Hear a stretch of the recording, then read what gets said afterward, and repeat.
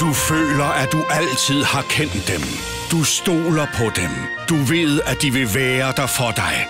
Også når det er svært. Når din værktøjskasse virker uoverskuelig. Når dine gør det selv opgaver hober sig op, og du har brug for et godt råd, så står de der. Uden tøven.